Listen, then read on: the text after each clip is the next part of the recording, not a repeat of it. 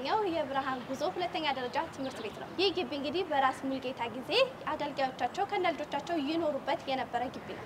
ከጀርባዬ የምትመለከቱት ህንፃ በካብ የተሰራ መኖሪያ ቤት የነበረ ሲሆን አሁን ላይ እንግዲህ እንደምትመለከቱት የተማሪዎች መማሪያ ህንፃ ሆኗል። እንዴት ነሽ? ሰላም? ሰላም፣ እንዴት እንግዲህ ስለ ግቢውም ስለ ህንፃውም እያወራሁ ነበር። አንቺ ደግሞ እንደው ሰፋ አድርገሽ ንገሪ። እሺ እንኳን ደህና መጣችሁ። መራዊት ትባላለሁ። የዚህ የብርሃን ጉዞ ሁለተኛ ደረጃ ትምህርት ቤት ርዕሰ መምህርት ነኝ። እ፣ ይህንን ትምህርት ቤት እንግዲህ የራስ ሙልጌታ ሁለተኛ አሁን ብርሃን ጉዞ ሁለተኛ ደረጃ ትምህርት ቤት ነው። ከዚህ በፊት ራስ ሙልጌታ ይኖሩበት የነበረ ግቢ ነው። ራስ ሙልጌታ ከነ አገልጋዮቻቸው እዚህ ውስጥ በካብ የተሰራ ግቢ ነበራቸው። የጸሎት ቤት አላቸው። መሰዊያ ቤቶች ነበሩ። በካብ የተሰሩ ናቸው። በጣም ብዙ ሰዎች ነበሩ እዚህ የሚኖሩት። ወደ 19 አባወራ ነበር እዚህ ግቢ የሚኖረው። አገልጋዮቻቸው 19 አባወራዎች ከዚህ ወጥተው የሌላ ቦታ ተሰጥቷቸው እየኖሩ ነው የሚገኙት። አሁን ግን ትምህርት ቤቱ በሁለት ተከፍሎ አንደኛ ደረጃ እና ሁለተኛ ደረጃ ሁለት ብርሃን ጉዞ ሁለት ትምህርት ቤቶች አሉት ማለት ነው። አንደኛ ደረጃው በ1977 ዓመተ ምህረት ነው የተመሰረተው። ሁለተኛ ደረጃው ደግሞ በ1999 እ፣ ጥቅምት አንድ ነው እ፣ የተከፈተውና እንግዲህ አንደኛና ሁለተኛ ደረጃ ትምህርት ቤት ሆኖ በማገልገል ላይ የሚገኝ ተቋም ሆኗል ማለት ነው። ከአንድ በፊት በሰፊው ይዘውት ራሳቸውን ሲኖሩበት አገልጋዮቻቸው ሲኖሩበት የነበረውን ግቢ እንግዲህ ራስ ሙልጌታ ለትምህርት ቤት አውለዋል ማለት ነው ግቢያቸውን። ራስ ሙልጌታም ገና እዚህ ውስጥ እያሉ የተወሰነው ፓርቱ የመሰረተ ትምህርት መማሪያ ነበረ ጠቅልለው የወጡት 77 1970 ያሉ ነው አዎ እዚህ ግቢ ላይ ያሉ ነዋሪዎቹ ነዋሪዎቹም እያሉ ለመሰረተ ትምህርት መማሪያ ተብሎ የተወሰነች part ላይ ወደዛች አንደኛ ደረጃ በሮ አካባቢ ያለው የተወሰነ ጊዜ መማሪያ ነበረ መሰረተ ትምህርት። ከዛ በኋላ ግን እ፣ 1977 በኋላ ሙሉ ለሙሉ ነዋሪዎች ወጥተው የአንደኛ ደረጃ መማሪያ ሆነ። እ፣ ከ1999 እ፣ በኋላ ደግሞ ለሁለት ተከፍሎ አንደኛና ሁለተኛ ደረጃ ሆኖ በማስተማር ላይ ይገኛል። ትምህርት ቤት ነዋሪዎቹ የሆነው ወጥተው ወ- ትምህርት ቤት ብቻውን የቻለ ግቢ የሆነው አ ራሱን የቻለ ግቢ የሆነው 1977 ነው። 19 አሁን ይሄ ደግሞ በ1990 ዘጠኝ ዘጠኝ እስቲ አሁን ላይ ደግሞ ምን ላይ ይገኛል? እስቲ በደንብ ንገረኝ። እንደውም የ mind set ስልጠና እየሰጣችሁ ተማሪዎቻቸውን በብዙ ሁኔታ እያበቃችሁ እንደሆነ ሰምቻለሁ። okay ጥሩ እንግዲህ ትምህርት ቤታችን ያው ያሉት ተማሪዎች አሁን በዚህ ባለፈው በ2015ም በ2016ም የ mind set training ኦች በተለይ በሰፊው እየሰጠን ነበረ። 15 ላይ በጣም ሰፊ የሆኑ ስራዎችን ሰርተናል። mind training ለልጆች ከመማር ማስተማሩ ባሻገር behavioral change በጣም አስፈላጊ ነገር ነው። አመለካከታቸው፣ ራስን ማወቅ፣ ራስን መገንባት፣ አገልጋይነት ስሜት፣ ታዛዥነት አጠቃላይ አገራቸውን እንዲወዱ ራሳቸውን እንዲያውቁ ማንነታቸውን እንዲያውቁ even የሰራናቸው ስራዎች አንዱ 11ኛ ክፍል ከ10 ወደ 11ኛ ክፍል ሲያልፉ ተማሪዎች በግፊት በቤተሰብ በ peer pressure ሳይሆን ውስጣቸውን ራሳቸውን ማንነታቸውን አውቀው ውስጣቸው በፈቀደው ማንነታቸው ማለት ነገ በ social science ትምህርቶች ነው effective ሆነው ወይስ natural ላይ ብገባ የሚለውን በውስጣቸውን ተማምነው እንዲመርጡ training የሰጠንባቸው ሁኔታዎች አሉ። ዘንድሮ 12ኛ ክፍል ላይ ያሉ በጣም ብዙ ተማሪዎች ውስጣቸውን ማግኘት ችለዋል። አሀ አሀ እኔ ለካ ይሄ ነኝ ማለት የሚችሉበትን አቅም ፈጥረዋል በዚህ ሰዓት ላይ እና አብዛኞቹ አሁን የምታያቸው ተማሪዎች 12ኛ ክፍል ተማሪዎቻችን በየ talent ኣቸው ግዴታ በትምህርት ብቻ እንዳልሆነ ማንነታቸውን ውስጣቸውን የተፈጠሩበትን እንትን ማወቅ ችለዋል እና ፊልም ላይ የተሰማሩ ልጆች አሉ፣ በግጥም ካሜራማኖች አሉ፣ event organizer ኦች አሉ። እንግዲህ አሁን unexpected ነው በዚህ ሰዓት በ12ኛ ክፍል ተማሪ ሆኖ በዚህ ደረጃ ላይ ይደርሳሉ ብሎ ላንጠብቅ እንችላለን። ግን አሉ በቃ አሁን ስራ ላይ ያሉ በቃ ጋራጅ መስራት ያለባቸው መክሊታቸው እዛ ነው ብለው ያመኑ ልጆች ወደዛ የተሰማሩባቸው ሁኔታዎች አሉ። ቤተሰቦቻቸው እንዴት ነው ድጋፍ ያደርጉላቸዋል? ይህን የማይንድ ሴት ስልጠና ይሰጡ ማለት አሁን እንግዲህ እኛ ተማሪ በትምህርት ነው ወደፊት ህይወትሽ የሚቀየረው የሚባል ነገር አለ። አሁን ደግሞ እዚህ አንቺ እያልሽኝ ነገር አለ። ቤተሰቦቻቸውስ እንዴት ነበረ? መጀመሪያ አካባቢ challenge ነበረው፣ በጣም challenge ነበረው። even ጠዋት ነው ይሄ training የሚሰጠው ከትምህርት ሰዓት በፊት ከአንድ ሰዓት እስከ ሁለት ሰዓት ከሩብ ነው የሚሰጠው ለአንድ ሰዓት ከአስራ አምስት እና በአንድ ዙር ላይ ለ14 ቀን ነው የሚሰጠው። 14 ቀን በተከታታይ ይመጣሉ። ጠዋት አንድ ሰዓት ነው የሚመጡት። ምን ጉድ ነው ብለው የመጀመሪያ አካባቢ ላይ በጣም challenge አድርገውን ነበር። ምንድን ነው የሚሰጣቸው? ለምንድን ነው ይሄ ነገር ከምን ተነስቶ ነው እንደዚህ ሊሰጥ የቻለው የሚለውን ነገር እየመጡ እየጠየቁ ነበረ ወላጆች። የመጀመሪያው ዙር ምርቃት ከተሰጠ በኋላ ወላጆች በጣም ጥያቄ አመጡ። ይሄ training ለእኛ ራሱ መሰጠት አለበት። ይሄ ታዲያ ምን አመጣ? ተማሪዎች ላይ መነሳሳትን ፈጥሯል። በጣም ብዙ ለውጥን አምጥቷል። እያንዳንዷ ተግባር የተፈጸመችው ግን አንድ በጣም ቀና ለወገን ለተማሪዎች ተቆርቋሪ የሆነ መምህር ነበረ። መምህር የሺ በላይ ከበረ ይባላል። እሱ ያው ፕሮግራሙን ራሱ inspire አድርጎ የጀመረው በራሱ ተነሳሽነት ነው የጀመረው። የመጀመሪያውን ዙር እንደውም in detail እኛ ገፍተን ሳናግዘው ነው በራሱ ጥረት የጀመረው እና እኛ ከሁለተኛ ዙር በኋላ ያለውንም እኛም እያገዝን ነው እሱም እንትን እያለ የመጣው እያንዳንዱ ተማሪዎችን እግር እስከ ማጠብ ድረስ ቁጭ ብሎ እግር እስከ ማጠብ ድረስ የደረሰ የታዛዥነትን የአገልጋይነትን ስሜት ከመፍጠር አንጻር በጣም ሰፊ ስራ ነው ሲሰራ የነበረው እና በጣም ተማሪዎች ወጥተው በወር አንድ ጊዜ ወጥተው street feeding አላቸው ከኔቢጤዎች ጋር ቁጭ ብለው ምሳቸውን በወር አንዴ ምሳቸውን ያጋራሉ። ፕሮግራም አላቸው አዘጋጅተው ራሳቸው ፕሮግራም አላቸው። በወር አንድ ጊዜ ይወጣሉ። ወጥተው street feeding ይመግባሉ። በጣም ውስጣቸው በጣም ነፃ ሆኖ በጣም ደስተኛ ሆኖ ምሳቸውን አጋርተው ሲመጡ ያላቸው ደስታ ደስታ አይደለም፣ ግን ሀሳቡን አምጥተው energize ሆነው ከውስጣቸው ይሄ ፍላጎት ተነስቶ ወደዚህ ተግባር የገቡት ራሳቸው ናቸው ሀሳቡን ያመጡት እና even ከምንድን ነው የጀመሩት? ሽንኩርት ከቤት collect አድርጎ በማምጣት አንዳንድ እንጀራ ከቤት በማምጣት እንደዚህ ነው ሀሳቡን የጀመሩት እና ግን በጣም ሰፍቶ ለስልሳ ሰው የታሰበው ከሶስት መቶ በላይ ሰዎች ናቸው የተስተናገዱት። በወቅቱ በጣም ደስ የሚል ፕሮግራም ነው ያዘጋጁት። ይህ mind set ስልጠና መቼ የተጀመረ? አሁን ላይ ስ ምን ላይ ይገኛል? የተጀመረው በ2015 ዓመተ ምህረት ነው። 2015 ላይ ከጥቅምት ጀምሮ እስከ ሰኔ ሰኔ ላይ ነው graduate ያደረጉ። ከዚህ 2015 በደንብ eagerly ነበር ስንሰራ የነበረው 2016 የ2015 ወደ 16 የሚሄዱ ተማሪዎችን 11ኛ ክፍል ተማሪዎች ላይ ስልጠና ሰጥተናል። እዚህ ላይ ብሩ ዜጋ የሚባል አንድ NGO ድርጅት እሱም አንድ training ሰጥቶልናል በራሱ እኛም ደግሞ የእኛን ተማሪዎች ከአስረኛ ወደ አስራ አንደኛ የሚያልፉ ተማሪዎችን ለ2016 ዝግጅት አድርገናል። አሁን ደግሞ 12ተኛ ናቸው አብዛኞቹ training ኡን የወሰዱ ልጆች የቀጣይ ውጤታቸውን የምናይበት ውጤታቸው በመማር ማስተማሩ ብቻ ሳይሆን ግን ከዚህ ባሻገር በራሳቸው ወጣ ብለው መክሊታቸውን በቃ መክሊታቸው እኔ ነኝ የሚለውን ነገር ይዘው አብዛኞቹ ተማሪዎቻችን አሁን አሁን these days እኔ ደስተኛ ነኝ በተማሪዎች በጣም ደስተኛ ነኝ። አሁን በዚህ time ላይ እኔ በቃ ስራ ጀምሬያለሁ። ቸርዬ event organizer ነኝ። ነይ እስቲ ጎብኚ ሲሉኝ በጣም ነው ደስ የሚለኝ። መጽሐፍ ልታስመርቅ የተዘጋጀች ግጥም ልታዘጋጅ ልታስመርቅ የተዘጋጀች ተማሪ አለችኝ። ይሄ በቃ ራስን መረዳት ነው። የተለያዩ ደራሲያን አሉ። በቃ በደንብ ራሳቸውን እንትን ማውጣት የቻሉ ልጆችና ልጆቻችን ወጥተዋል። በብዙ ዘርፍ ላይ ናቸው ያሉት እና በጣም ደስ የሚል ለውጥ ላይ ያሉ ነው። ይሄንን ለውጥ ደግሞ መቀጠል እንፈልጋለን። ቀጣይም ፕሮግራሙ በደንብ እንዲካሄድ እንፈልጋለን እና የዚህን ደግሞ ሞተር የዚህን ደግሞ በደንብ actively እየሰራ የነበረው መምህርም በደንብ ማበረታታት ቦታ መስጠት እንደዚህ አይነትን ሰዎች ማበረታታት በጣም ያስፈልጋል። በተለያዩ መስኮች ላይ መክሊቷቸውን ተጠቅመው ልጆችን ዜጎችን ለማፍራት የሚጥሩ መምህራኖች አሉና እነዚህ መምህራኖች አንዳንድ ጊዜ ሳንጠቀምባቸው እናጣቸዋለን። አቅማቸውን መጠቀም ሳንችል ስንቀር እንደ ሀገርም ብክነት ነው። በነገሮች ላይ ግቢያቸው አዲስ አልሆነብኝም። አፍላ ፍቅር የሚል ድራማ ላይ የሚሰራበት ግቢ መሰለኝ። ትክክል። አዎ ከዚህም እንዲሁም ተማሪዎች ከፋዘር ቤትና ከዚህ ተማሪዎች ይሰራሉ ተብሏል። ትክክል። አዎ ተማሪዎችሽን ታስጎብኝ። እሺ እስቲ ይኖራሉ ብዬ አስባለሁ። የተወሰኑ ተማሪዎች የአፍላ ፍቅር ላይ ያሉ ግጥም ምኑም የሚሞካክሩ ተማሪዎች አሉ። በየጎኑ በየ እንትኑ የራሳቸውን መክሊት ስለሚያወጡ እንትና እኮ ፊዮሪ እኮ ቅድም ብታይ ማለት ነው ለእንትና ለብሩኬ ምን ብትለው ጥሩ እንደምታፈቅረው አልነገረችው። እሺ እንዴት ነሽ? እግዚአብሔር ይመስገን። ደህና ነሽ?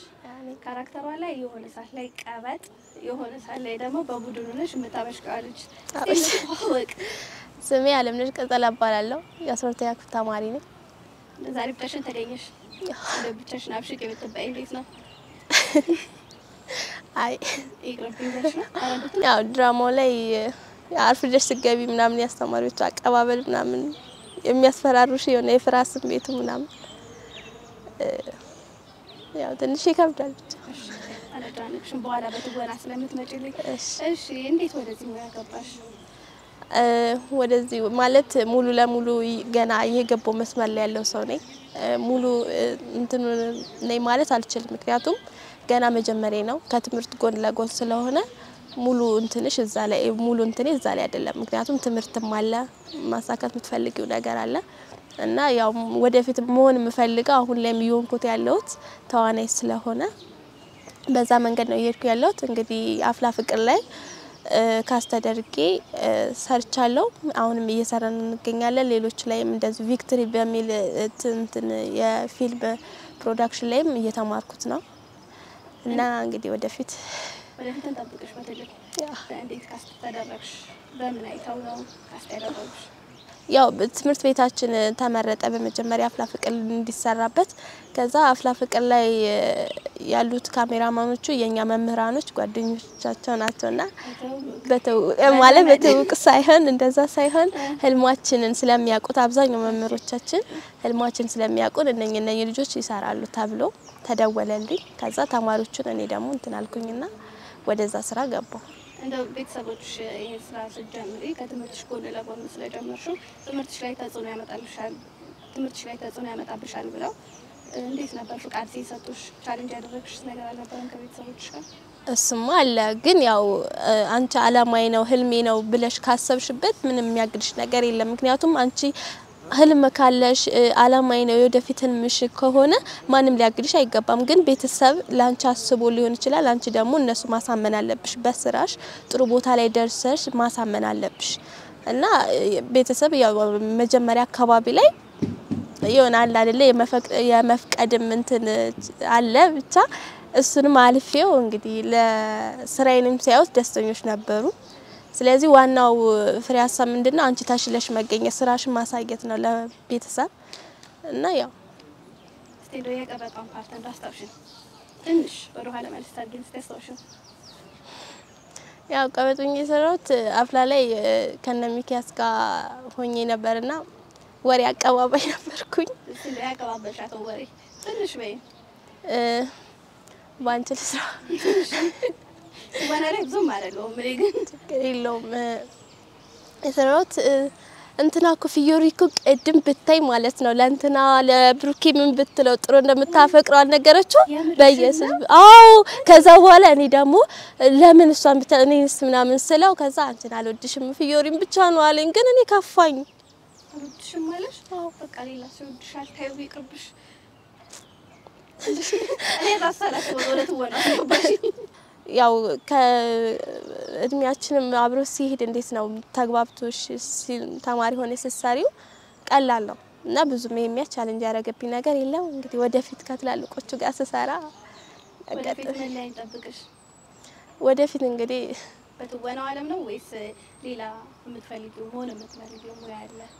ዋናው በትወና ነው። እንተዋወቅ ማግበል እሺ እኔ ስሜ ተማሪ ፍቅር አስራት እባላለሁ። የብርሃን ጉዞ የአስራ ሁለተኛ ክፍል ተማሪ ነኝ። እኔ እንደውም ተማሪ ሳይሆን የጠበቁት ጠበቃ ፍቅር ነበረ ስባል የነበረው ጠበቃ ፍቅር። ጠበቃ ጠበቃ እንዴት ለመሆን አሰብሽ? የልጅነት ሀሳብሽ ነው ወይስ አሁን ላይ የማይንድ ስልጠናውን ካገኘሽ በኋላ የመጣ ሀሳብ ነው? የማይንድ ሴቱን ስልጠና ከመውሰዴ ትንሽ ቀደም ብዬ ነበረ ጠበቃ የመሆኔን ህልሜን ያወቅኩት። ምክንያቱ ደግሞ አንደኛ አባቴ የቀድሞ ወታደር ነውና ያኔ አሁን ያለውን ጡረት አልተከበረለትም ያለው መብት አልተከበረለትም እና የእሱን መብት ለማስከበር ብዬ ነበር ይሄን እንደ አላማ ይዤ ነበር የነበረው ማለት ነው። ግን አሁን ግን like እንደ passion አድርጌው interest ም በቃ በጣም more interest እያደረገኝ ስለሄድኩኝ ሙሉ ሀሳቤን ወደ ጠበቃነቱ አዘንብያለሁ ማለት ነው።? ፓሽኔ ህፃን እየነበርኩኝ እዘፍናለሁ፣ ዳ- ዳንስ፣ ጭፈራ በጣም ነበር የምወደው። አረ የለውበትም። ወደ ጠበቃው ሙሉ ለሙሉ ሂደሻል። አዎ በደንብ ምን አይነት ጠበቃ ነው የምትሆኚው? ፍቅር ምን አይነት ጠበቃ ናት? ፍቅር ምን አይነት ጠበቃ ናት ስንል አንደኛ ለሁሉም ፍትህ የምትሰጥ ለሁሉም ሰው ፍትህ የምታዳርስ ፍትህ ላላገኙት ፍትህ የምታዳርስ የምትሰጥ እና ያኔ አሁን mindset ኡን ከወሰድን በኋላ dream board ላይ ያሰፈርኩት አንደኛ international የሆነ የጠበቃ ቢሮ መክፈት እፈልጋለሁ። school ም መክፈት እፈልጋለሁ። አዎ እሱን ደግሞ ማድረግ የምፈልግበት አንደኛ እንደኔ dream ኖሯቸው ግን አቅም ላይኖራቸው ይችላል። አሁን ለምሳሌ ራቅ ያለ ቦታ ደርሷቸው ሊሆን ቤተሰብ አልክም ብሎ እዚህም አቅም ለሌላቸው አሪፍ ውጤት ላመጡ በነጻ እስኩ እንደ ስኮላር አድርጌ ማስተምራቸው ውጭም እየወሰድኩኝ አንዳንድ ስኮላሮች ሺፖችን እያዘጋጀውላቸው እንዲማሩ ለማድረግ ፈልጋለሁኝ። አዎ አሚን። እሺ እኔም አመሰግናለሁ። እንዴት ነሽ የኔ ቆንጆ? ሰላም ነው? በጣም አምሮብሻል። ዛሬ በሰላም ነው እንደዚህ ለበሽ? ሌላ ቦታ ቀጠሮ ያለብሽ ነው መቼ እኮ። አይ እዚሁ ነው፣ የትም ቀጠሮ የለብኝም። አይ አሪፍ ነው። ጀንጃኙ በድራማ እንግዲህ የምናውቀው እየተጀናጀንክ ነው፣ ብዙ ሰዓቶችን ከሴቶች ጋር የምታሳልፈው። እስቲ እንደው ከካራክተሩ እንውጣና ራስን አስተዋውቅልኝ። እሺ ስሜ ዳዊት ይባላል። የአስራ ሁለተኛ ክፍል ተማሪ ነኝ። ያው mindset ስልጠና እየወሰድኩ ተማሪ ነኝ። የ mindset ስልጠና የ mindset እ፣ ስልጠናውን ስትሰለጠን እዚህ ላይ ተጽዕኖ ፈጥሮብሃል? ራስን የመሆን ላይ አዎ በጣም አሪፍ ነው። mindset ከሰለጠንም በኋላ ነው ብዙ ጊዜ ራሳችን ላይ መስራት የጀመርነው ማለት ከመውሰዳችን በፊት ያን ያለ ራሳችን ቦታ የለንም። ያው አላማችንም ብዙ አልታወቀችም እና ያን ስልጠና ከወሰድን በኋላ ያው የተለያየ ለውጥ በህይወታችን አምጥተናል እና ራስሽ እንድታቂ ህልምሽ እንድትኖሪ ያደርግሻል። በጣም አሪፍ ነው። ወደ ትወናው እንዴት መጣ? ወደ ትወና የመጣሁት እኛ ማይንድ ሴት እየሰራን እኛ ክህሎታችሁ ምንድን ነው ምናምን እየተባለ ያው እዛ ላይ እንሰራ ነበር። አንዳንዴ እናሳይ ነበረ እና የሆነ ሰዓት ላይ እነሱ መጥተው እዚህ ተማሪ እንፈልጋለን ምናምን ሲባል ትምህርት ቤታችን ነው እንትን ያለ ያገናኘው እና በዚህ ምክንያት ነው ወደዛ የገባ ሰዎች አሁን ላይ character ኡን ሲያዩ ሁሌም ቢሆን ጀንጃኝ ሰው አድርገው አያስቡትም? አይ ያው ትምህርት ቤት ከሰራው በኋላ እዚህ ትምህርት ቤት ብዙ ጊዜ እንደዛ ነው። ጀንጃኙ የሚል ስሙ ላው ትሉኛል እዚህ ትምህርት ቤት አጋጣሚዎች እና ለሌላ ስራም ጠቅሞኛል። አሁን ሀገር ፍቅር ቲያትር የመድረክ ቲያትሮች እንድጫወት ረድቶኛል። ሌላ ቦታ ላይ የተለያዩ ፕሮግራሞች ሲኖሩ ምናምን እዛ እንድጠራ ያው ብቻ አሪፍ እድል ፈጥሮልኛል። ዘራፍ አካኪ ዘራፍ ዘራፍ አካኪ ዘራፍ ጸጉሩ ድርብርብ ከቅንድቡ ላይ ጠላት አትፈሪ ቀና ብሎ ሲያይ እናቱ መቤት አባቱ ጌታ በጠላቱ ፊት አያመነታ ጠላት ከሄደ ከገሰገሰ የሀገሬ ጀግና አመጣው በርሳስ እያናዘዘ ኧረ ተው በለው ኧረ ተው በለው እምቢ ካለማ ሳትና ነው ጎጄ አናቱን በለው። ዱብ ዱብ ባይ እንደ በረዶ በልጅነቱ በረሃ ለምዶ የጎበዝ እናት ታስታውቃለች ካፋፍ ላይ ቆማ በለው ትላለች። የፈሪ ወዳጅ ታስታውቃለች ካፋፍ ላይ ቆማ ተው ሽሽ ትላለች። እምበለውና ጉልበት ጉልበቱን የተንፏቀቀ ይውጣው ዳገቱን እምበለውና ደሙን ልጠጣው ደሙን ጠጥቼ መችረ ካለሁ የሚያመጣውን አሳየዋለሁ። ሩቅ ፍቅርህ እያደር ከጎዳኝ ጠረን ቢርበኝ ስቀርብ እየራከኝ ስርቅ ቀረብከኝ ታዲያ ይህ ነው ፍቅርህ እንዴት ስለወቅህ ነበር በአይናችን ብናወራ በልባችን ብንግባባ ግና የሩቅ ለሩቅ ፍቅር ሆኖ አይኔ ሁሌ እያነባ ናፍቆት በቁም አሰቃየኝ ሳልሞት ሳለው ያው ሊቀብረኝ። እንተዋወቅ። እሺ፣ እሺ ገጣሚ ጽናት ፍጹም እባላለሁ። የአስራ ሁለተኛ ክፍል ተማሪ ነኝ።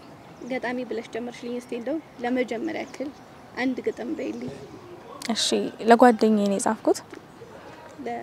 ለቤስት ፍሬንድሽ። አዎ እሺ፣ ይድረስላት በዛው።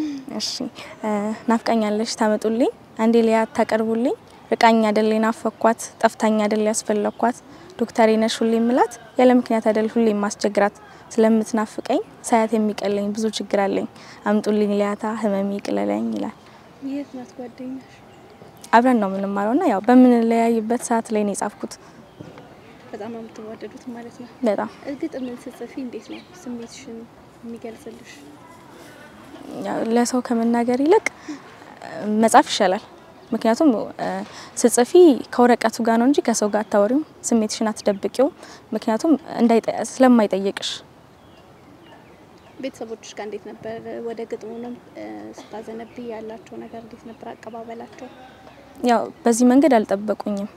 ማለት ትጽፋለች ሲባል ያው ቀላል ነገር ነበር የመሰላቸው እና ቁጭ አድርጌ ሳነብላቸው ምናምን ደስታቸውን ሳየው በቃ እውነት ይሄ ነው የኔ ተሰጥኦ ብዬ በዛው ቀጠልኩኝ። የግጥም መድብል ልታውጭ ነው የሚባል ነገር ሰማ። እስቲ ደስ ለሱ ንገሪኝ። አዎ መጽሐፍ አለኝ መቶ አስራ አምስት ነው እና 115 ፔጅ አዎ 115 ፔጅ ነው። ሳናገራቸው ፍቃደኛ ናቸው ሊያሳትሙልኝ ያሉኝ ሰዎች። ላሳትም ያሰብኩበት ምክንያት ስሜቴን ለሁሉም ማሳየት ፈልጋለሁ። ሁሉም የኔ አይነት ስሜት አለው ብዬ አስባለሁ። ምክንያቱም አብዛኛው የኔ የግጥሜ መድብል የፍቅር ነው እና ያው ሰዎችን ተግባብቻለሁ ብዬ አስባለሁ። በፍቅር የተጎዳ ነው ወይስ በፍቅር እንትን ያለ? ሁሉንም ያጠቃለለ ነው። ይበልጥ ስለ እናትም ስለ አባትም እንዳለ ሆኖ ይበልጥ ደግሞ ያው በዚህ ሰዓት ላይ የምናየውም የምንሰማውም ስለ ፍቅር ነው። ስለዚህ ደግሞ እሱን እገልጻለሁ ብዬ ስላሰብኩኝ ነው መድብሉን ያዘጋጀሁት። እንደው ስለ አንድ ስለ ፍቅር እስቲ ግጥም በይልኝ። እሺ ይሄ ይሄ አጠር ያለ ነው ግን ደግሞ መቻጣ ነበር ያንተ አይነት ጓደኛ ፍቅር ለየት ብሎ ከልቤ ባይወጣ ስማኝ ይህን ልበል ቃልም ካፌ ወጣ ለፍቅር ብዬ እንጂ ሆንኩት ብቸኛ ወንድም አይጠፋ ለስሜት ሚተኛ ይላል። ምርጥ ግጥም ነው። እንደው እስቲ ስትጽፊያቸው በጣም challenge ያደረገሽ ይሄ ግጥም በጣም ከብዶኛል ያልሽው ግጥም ምን አይነት ግጥም ነበር? ያው አሁን አሁን አላስታውሰውም ግን በጣም የፈተነኝ ግጥም አለ አራት ቀን የፈጀብኝ እና ያው ከጓደኞቼ ጋር ሆኜ ነበር እንደ አጋጣሚ ሀሳቡ የመጣልኝ እየተጨዋወትን ና ጀመርኩትና በጣም ለመጻፍ በጣም ተቸግሬ ነበረ። ግን ጽፌ ያለው እንዴትም ብዬ አስቤ ጸጥ ያለ ቦታ በጣም ነው የምወደው ተፈጥሮ ያለበት እዛ ሄጄ ነበር የጻፍኩት። እንደ የመለያያ መጨረሻ አንድ ግጥም በይልኝ። እሺ ቆየ ከጻፍኩት ይህን ግጥም ይህም ስለ ፍቅር ነው። ያው የሩቅ ፍቅርህ እያደር ከጎዳኝ ጠረን ቢርበኝ ስቀርብ እየራከኝ ስርቅ ቀረብከኝ ታዲያ ይህ ነው ፍቅርህ እንዴት ስልወቅህ ነበር በአይናችን ብናውራ በልባችን ብንግባባ ግና የሩቅ ለሩቅ ፍቅር ሆኖ አይኔ ሁሌ እያነባ ናፍቆት በቁም አሰቃየኝ ሳልሞት ሳለው ያው ሊቀብረኝ ይላል። በፍቅር ግን አልተጎዳሽም? አልተጎዳውም። እሺ እንግዲህ ወደፊት የግጥም መድበልሽን አዘጋጅተሽ እንገናኛለን ብዬ ተስፋ አደርጋለሁ። አዎ እንገናኛለን። አመሰግናለሁ። አመሰግናለሁ። አቋረጥኳችሁ ከጨዋታችሁ ይቅርታ። ያው እንግዲህ የረፍት ሰዓታችሁ እንደዚህ ነው የምተሰልፉት። አስገቡኝ፣ እኔም ልቀጥል ልጫወት። ጫማዬን ላውልቅ መጀመሪያ ስለማይመች። አንቺ ተጫዋች እስከዛ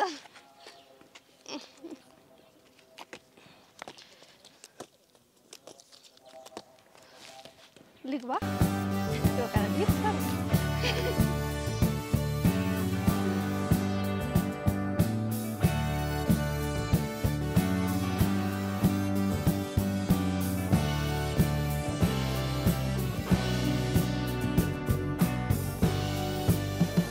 ተመልካቾቻችን የዛሬው የተማሪ ቤት ፕሮግራማችን እስካሁን ያያችሁትን ይመስል ነበረ።